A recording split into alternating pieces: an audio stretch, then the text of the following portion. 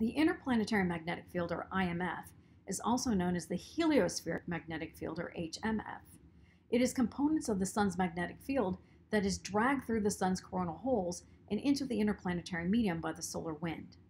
Let's take a look at the Parker spiral. In this version, we have a three-dimensional Parker spiral.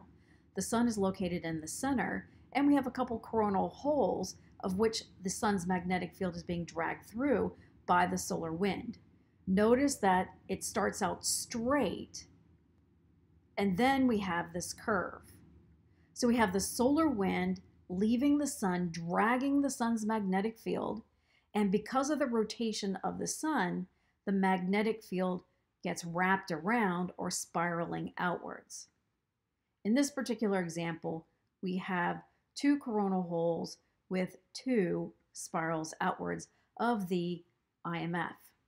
In this case, we have a three-dimensional plot, so you can see that the spirals spiral out and fan out.